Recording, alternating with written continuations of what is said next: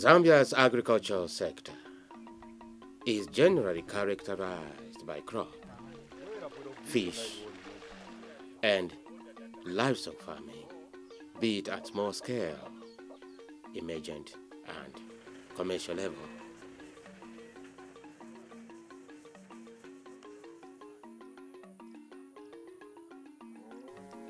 In most parts of the country, the value of livestock is evident through the role it plays in, among other things, uniting people through either dispute resolution or as dowry in marriages. na kutwala ngombe kulwampa mishini kuli bayayi yetu ngombe kuli bamulamu wabo pele haya mukulwa kulifa wangu pe niho bakalanda kola uti ku pele haya niho bakengana hiti niho bakabamanga pe haya lelo etu niho twashimba ngombe wetu mumulaka wetu mishini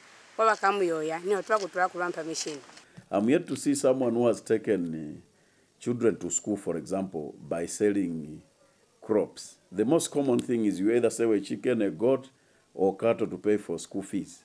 So you find that uh, these the, the keeping of animals has really contributed to taking people to school. Even in terms of when someone has a case to pay, normally you are not charged in terms of bags of maize. You are charged in cattle, you know, a chicken, you know, when you do something wrong, normally it's traditional, you don't take a batch of rape, you are going to take a goat to pay for your whatever you've done. Even to take someone to the hospital, it's easy to stand by the roadside, sell your chicken, raise money, and take that person to the hospital. So the contribution is huge. Nearly each and every uh, smallholder household in the rural areas, they own at least one type of livestock.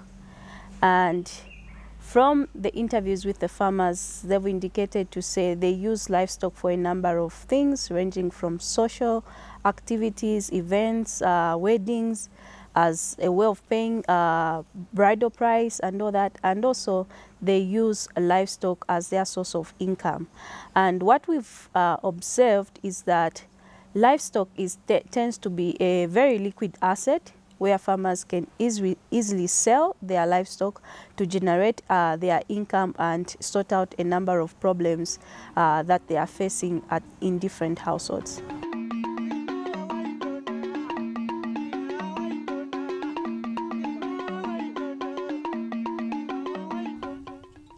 Although the rate of economic growth could be much better, there is no doubt that most economies in the sub-Saharan Africa, which include Zambia, are growing. A growing economy, especially combined with a growing population, means that the consumption needs also go up. Key amongst these consumption needs is the growing demand for protein. The richest source of protein among all food groups are beef.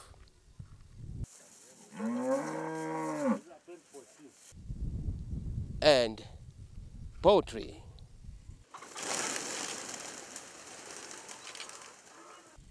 This means that the livestock sector is poised to take advantage of this growing need. So, is Zambia's livestock sector responding to this growing demand? In this two-part documentary, we discuss some of the opportunities and challenges for Zambia's livestock industry. Firstly, let's begin by understanding what the term livestock is. Livestock internationally is classified as uh, all the um, basically domestic animals that are kept at uh, for agricultural production at, at a farm level. They can be birds or they can be domestic animals, goats, sheep, uh, pigs, cattle. Basically, in this case, we're talking about domestic animals for production purposes of things like milk, meat, skins, hides, and, and eggs for betterment of the human life. With the fast growing demand of the animal food sources for the much needed proteins, There is a great opportunity for smallholders to earn a better living through livestock rearing. The increasing demand for livestock products has in the recent past resulted in a steady growth of the livestock sector. So, what is the status of the livestock industry in Zambia? The, the state of livestock in Zambia is uh, still in transformation. Uh, it's still moving because if you recall historically, is that um, these things were um, livestock um, uh, uh, production um, has not moved as commensurate as the human population. Our population grows at uh, 2.8, roughly 3% per annum. That's the, the human population. Right now, it's sitting at around 16 million people. But if you check our livestock, our cattle, our goats, they don't grow as fast as the population. So you find that as the population is growing, our livestock is not growing as fast. So we end up having deficits and hence the need to, to, eh, to import. So what, what we're saying is that the livestock needs to grow commensurate to the human population. So that it means that then the people are going to in, have enough income from the, the livestock. The people are going to have enough food security from the livestock, both the goats, the sheep, and the, the cattle. What happens in this case is that because your population is growing, on uh, average, then we need to say uh, each person is entitled to so many uh, livestock, so many. In this case, if you're looking at the, our population of 4 million versus uh, 16 million. So, in a ratio of uh, 1 to 4. So, four people, one cow, which means that we're still way behind. If you look at our friends in Botswana and Namibia, it's one to one. One person, one cow. The population is at, in some cases, it's even more than that because, like, Namibia is 1.5 million people versus cattle population of 2.5 million. For Botswana, it's about 2.5 eh, million people versus 2.5 million cattle. So it's one to one. So what happens in that case is that they can feed their own, but they have access to export. For Zambia right now, we don't have enough access to export. Even if we had to have the, the market access into EU, into Asia, we don't have in, enough to export. And that's why we're saying that apart from getting this market access, we also need to increase our production. So the potential is there, and that's a set of play right now for the for the for the livestock production. Yes, the sector is growing, but what we have noticed is it's a number of households that are increasing in terms of those that are keeping animals as opposed to the number of animals that they are keeping. So the head size hasn't increased that much, but what has increased is the number of households that are keeping animals.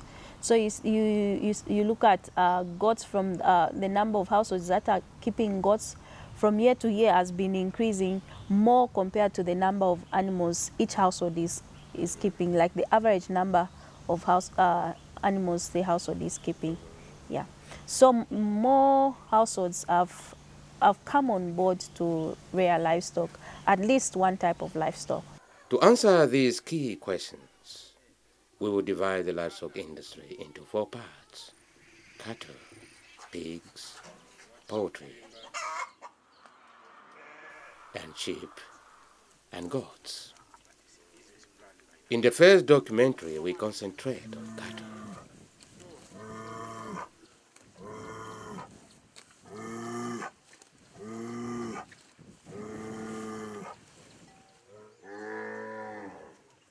Zambia's cattle population stands at about 3 million according to the Rural Agricultural Livelihood Survey of 2015. Cattle consist of beef and dairy animals whose products are mostly consumed locally. With the cattle, we're talking about uh, as a country right now at 4.2 million cattle. It offers instant income to our um, to our farmers.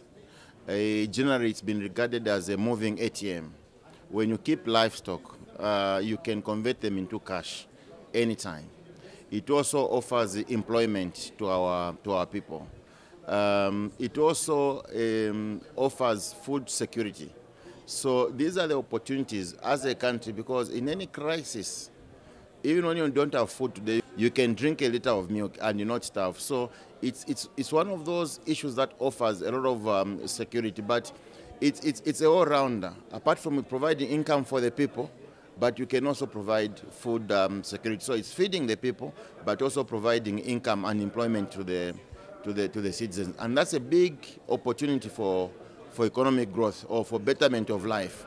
If you look at Zambia, 80% of the population in the rural areas depend on, uh, on agriculture and livestock in particular. The agricultural contribution to gross domestic pro- product is now at 42%.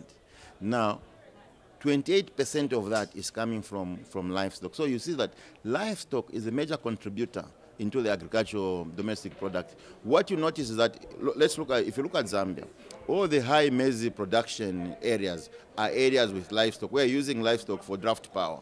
So that's an indirect contribution, though it's not captured in the, in the gross domestic product, but it's a major contributor to the hec- hectareage of other um, cro- um, cash crops like maize and uh, soybeans and others. I have 65 presently. I started with the two, then I went to last year, it reached up to 17. But presently 65 dairy animals. They are milking average of 200 to 230 liters per day. So it's, uh, you know, the, the supply is higher than the, the demand. I have uh, six children. They were at Lubanga Basic School, but presently they are in private schools. I'm paying through the dairy milking. Then the other thing, at least uh, the, even the standard of living has changed because uh, uh, averagely I'm getting 15,000 per month, for which uh, about 2,000 is going just for home use, for domestic use. The other one for private school pupils. ko mukintu yabutokwa yeza kuli hauna niona ikona kukutusa mama tata ka ufelali kazona nizona kana kweyo hakufumana ensha mane hape ni kwa kulima waitusisayo na chwalo kwa, ku, kwa kukekela nize muchwalo ni kwa kuhohali cho hamulitisa kwa misika kona kuli omukira buto kwa holo na alexa ngaliko omukubaza mbu foko munikubula akyolo mu mabbu kyali utobola mhm. eh, ensha milelo yaka kikuuka kuutali munanuze kikuliko ne kunichincha bwino obwaka bwa bupiro. Kulimane nina kwa pili na kona kubane bani muyaho buchari yaka yebo na kulize standard one. Moni kona kuli na utali utaliko muzana mafera ingenile kisa inge ingenivulanga kubea mwa buchari mwani. Kulimane fo kumune babona baba baleka barusa kababa batantu bako na kutoleka kuna. Southern and western provinces are among the regions in Zambia where livestock forms the main source of livelihood for the populace in the two areas. For southern province, cattle define the wealth of a region. kukhala ng'ombe kumutonga koti wabona ng'ombe koti wasika kumwezi? Kuchundu mugupa kotila maila watila menda upegwa mulandu watila mugupa topegwa mulandu Namwala and Monza districts lead southern province with high cattle population. Based on 2016 livestock census, Monze has a cattle population of about 155,058 cattle. And um, this is, we are proud about this because this is the second highest population of cattle in Southern Province. We are only second from Namwala district. So this already shows you the potential for the livestock sector. Um, we have a lot of potential when it comes to milk production, also beef production. In Namwala district, the population of cattle is more than the people. Cattle ownership signifies one's wealth and identity in society. In terms of the cattle population in Namwala, we have 139,945 against a human population of 101,851 people, according to the 2010 census of population and housing. Of those cattle, there is a mixture of uh, both dairy animals and beef animals. Yes, but uh, mostly of our breeds are cross breeds of the beef type. In terms of beef, uh, we have four abattoirs which are dotted across the district, of which farmers are able to sell their animals to the abattoirs. Yes, and uh, on average, I may say about uh, 800 to 1,000 animals are slaughtered every month in the district. If you don't own animals in Namwala, uh, then you are nothing. Because if uh, let's say I have two oxen, maybe with an ox cart, I think my life will be anyway simple. Someone owning a, a house, in case he has problems, for him to find a buyer to buy that house, it takes long. But for someone who has cattle, like if you, you want 100,000 today, you just take your animals to the abattoir and you, you get the, your money. Yes. A rearing of beef cattle dominates most parts of southern province, with marketing opportunity existing locally and outside the province. The income I get from abattoir, for instance, if I take about six steers, uh, a steer giving me roughly about 3,000 kwacha. You're talking of about 3 times 6, that's about 18,000 kwacha. bwindakasambala tung'ombe tobile kuzwa mung'ombe iya ndatutola kukopa belt kwa kutusambala after kutusambala ndalanda bagali basune ndalanda mbajinche ngule ng'ombe ipwi so indakabona mali mbwindaka kupanga mbwa kapota kuti inthalika ibe business iyi yakuula ng'ombe ndapiruka kumanda ndaula ng'ombe alimi ndatola kukopa belt ndakusambala. So mbwi ali akupanga profit ndataya kuula ng'ombe ndahiya ang'anda. Waula wa, wa ndaula maybe ili 5 kutola kumaini yobile ajala so limwe mbwinda ngwe akahula ng'ombe indakali kuhiya ndaula ng'ombe ipwi so this time ndiwete ng'ombe about 600 to 700 While southern province is advancing with improved cattle breeds, the situation is a bit different with western province. The indigenous Barotse breed is the dominance of western province. It is known to be well adapted to conditions in western province that is mainly covered by flat plains. The Barotse breed itself has this huge potential of disease resistance. We are talking of still having animals despite the disease having ravaged the, the province. So we want to keep the Barotse breed, probably improve on it, its genetics by just selective breeding. But at the same time, we are also encouraging to some extent crossbreeding with other uh, livestock. You realize we don't have certain diseases like corridor here. The secret to be lying maybe in the, in the breed. Once we start indiscriminate crossbreeding, we may end up having the same diseases that are in eastern province and southern province. Now, if you look at our environment, in the plain there, you cannot put dip tanks because environmentally that is not feasible. So for now, we want to keep the status. We'll keep our Barotse breed, but probably do more research and improve on it. Our population is somewhere around the 550,000 heads of cattle, which is a positive side to it. But our grazing capacity can easily get up to 1.5, 2 million cattle as a province. That's the grazing capacity that we have, the carrying capacity in the province.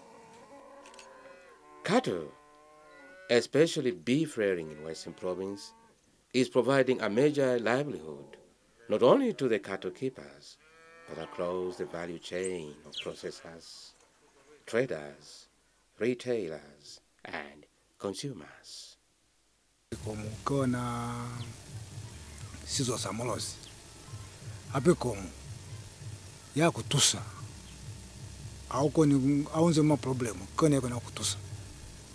Chole kikamuona ndipo nikulya nakona kuleka kombe yako la kunitusa eh. Batu bakona kubata bususo e, eh, mwasi wakamo hai bakuli tukomu totufumana tuketuwata tung'ata kukonzwata kulekisafati kanakoyeswa nengewa kana kubona kulewa tili baba batabususa bana kana kubafaka eh. Ni izi mwa business yakule kisanama amochwa nikutalikomo mwa business ye yalikomo inani likaze ng'atang'ata sihulu hamuleka likomo zemu mkona kulileka kakutula zemu kakuchipa mimwa teni kuli business ya teni ukona ku kuleka komu hapo wafumana mwatini mashilingi ya hao kana kona yo yeswana eh, profit ya hao hamocho walo ni ni, ni expense yene ule kile eh, wako na kuifumana mana kwa elimu. Eh, nikakuli nelukali lilo likomuze kwa na kuweza fair 6 kono fa matri 3 years more kono yoko bya tuko mtoto kwa na kuweza uh, kafa tuko pa 38 kwa tuko. Akize ofera kono kizenga ateze pangile mwateni eh nshangu soli watundani saloli wakenisa bana bali kolo kona mocha kona moweza chwana kizengata mani mandu soli waya ona mo. In some areas of Western Province, such as Senanga district, farmers are making efforts to improve the local breed. But this is done with caution. To ensure the indigenous Barotse breed does not go into extinction. Our local animals, Barozi, uh, for market, they grow very slow. And uh, we decide that uh, on improving this, we are going to have advantage because we are going to speed up the, the growth.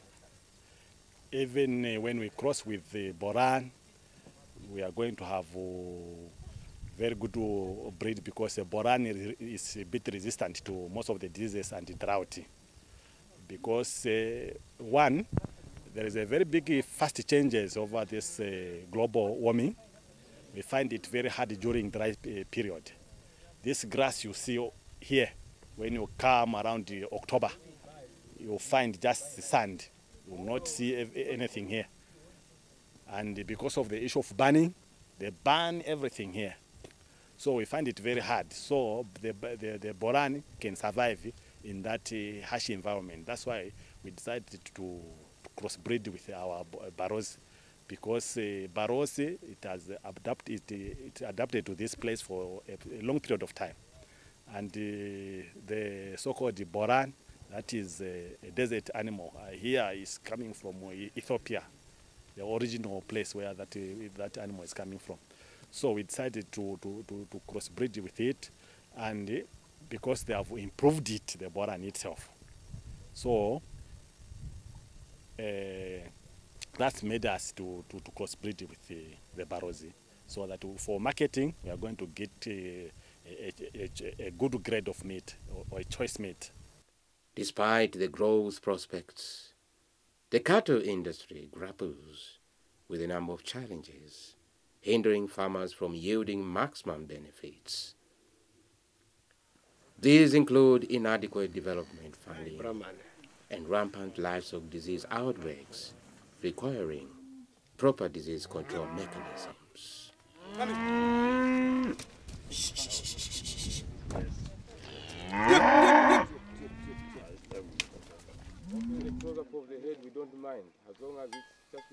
Diseases of national economic importance, such as East Coast fever or corridor disease and contagious bovine pneumonia, have been a challenge to southern and western provinces, respectively. Yes, we have uh, experienced a lot of diseases. Uh, as I have said, uh, I said I've been in beef maybe since I was born. I, I found these animals. Uh, if it was not of the diseases, maybe I was going to be talking of maybe five or ten thousand animals.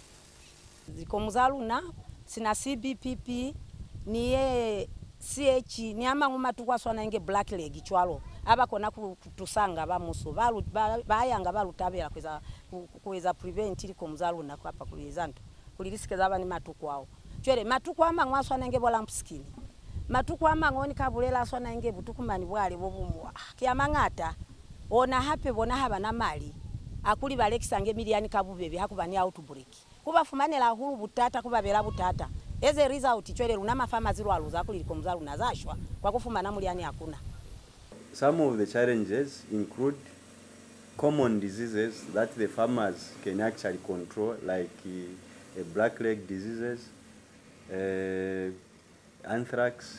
I think uh, not too long ago we heard uh, on the media that Karabo was one of the districts that was hit with the outbreak of, uh, of anthrax. And thank God we have contained that and our farmers have continued with their normal way of doing their farming business. other diseases that uh, um, poses a, a threat on the livestock industry, we are looking at uh, uh, tick-borne diseases.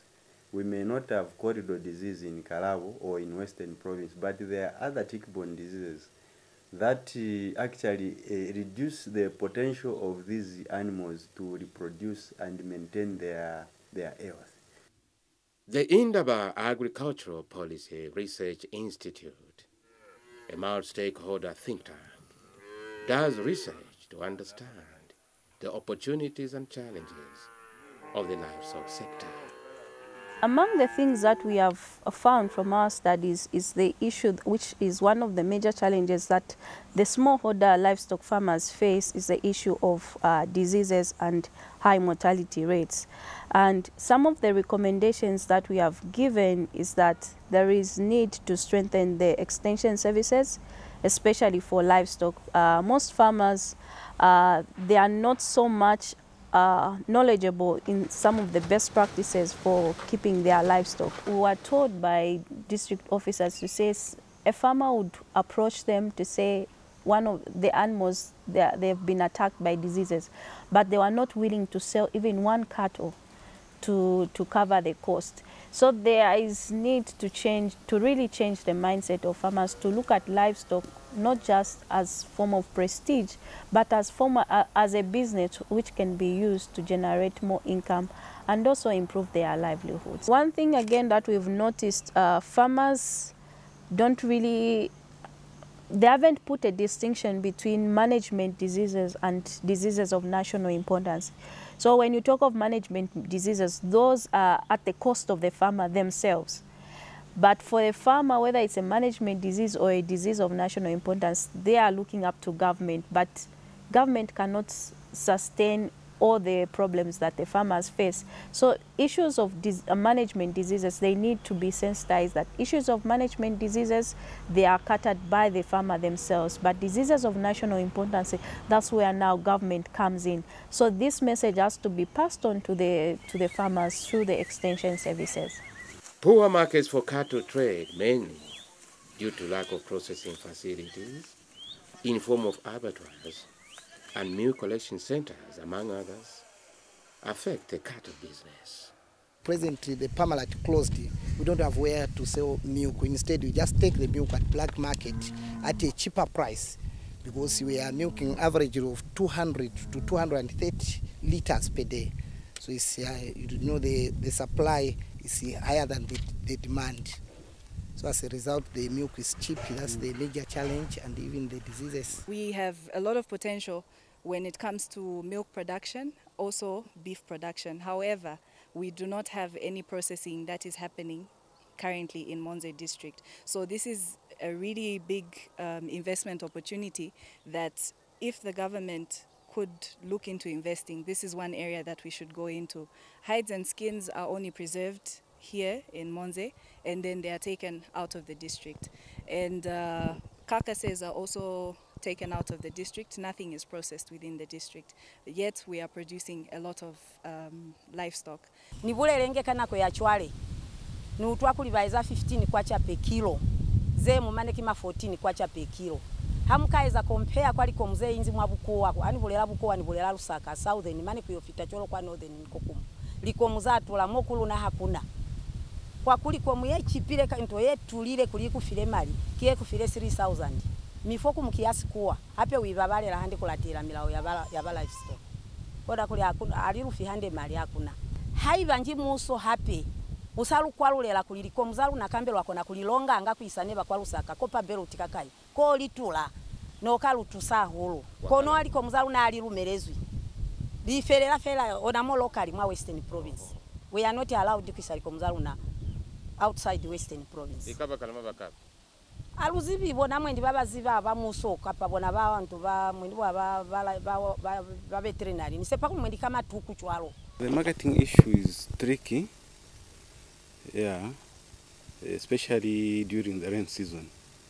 You find that you know people want to sell animals, uh, many, maybe because of the school-going children, so that you you find that uh, uh, the prices go down. and mostly it's uh, the abattoirs or the people who buy animals. They are the one who dictate the, the price instead of us, the owners of the animals, to dictate the price. That's the challenge we have. Other challenges include high cost of borrowing, high cost of feedstock, and absence of input support. awa kuli buyumuyumu buliko mu hulumende ku side ku beef sector ng'amba muli kuti hulumende titulanganyika tomafamazi ba beef mbuli mbuyilanga baba mafamazi bamapopwe oti jahika chindi balaba pama fertilizer balagita buti so so guli ndiswe nga guli buyu muyu muhinji nga yaguli janina. Otherwise ng'ombe ndambo ndakwanya ng'ombe about 6 to 700 but chembera mu traditional land nejisi famu yeni commercial famu njikwanagwa hengo ingulula gambo gakudula nyiga Mainly, we want even to improve this more than where you see because what we want is eh, even to be buying eh, already improved bulls from Lusaka. But the problem is where to get money from. Because when you go to the banks, or when we go to the banks as farmers, we are not allowed to get loans. Even if you, I have a house, even if I go to the bank, they will say no. Uh, you cannot uh, uh, put your, uh, your, your, your animals as a collateral. Eh? So, and you, you cannot you cannot give you, you a loan to invest it or to buy animals because animals it will be very easy for you to, to take them away. It will be very difficult to, to trace you. So we are finding it very hard to get loans or assistance from because the only place where we can get aid or assistance from the government. In addressing such challenges, a practical and effective livestock development policy is critical. there is need for government as well as the private sector to get involved in establishing breeding centers for animals. Most farmers, uh, they need to restock their animals and they need uh, better breeds than what they currently have. For instance, we did a study on daily value chain and we noticed that the production of milk from the local animals is very, very low.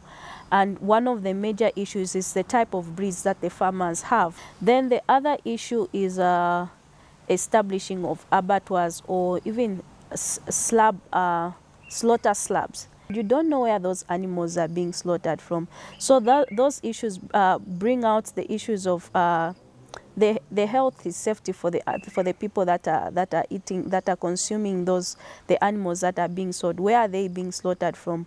Are, have they been uh, cleared by the the, the the veterinary department? And so such issues need to be looked into. Then the other thing is the issue of um, feeding. Most farmers are using the same intensive system where animals are just freely uh, allowed to graze in the communal uh, grazing areas and they are only supplemented during the rain seasons. But what we observe is that during the dry season, the, the grass is dry and so when you look when you look at the nutrients that are, uh, the animals are getting from dry grass is very very little.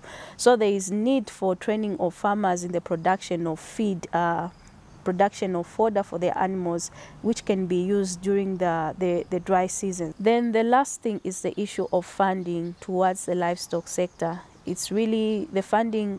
So far, when we've analyzed the agriculture budget, there is very little that goes to the livestock sector. So there is need for sustained funding in order to improve uh, the livestock sector because we know that it's it, it's uh, it's one of the major components for the farmers' uh, income and also their assets.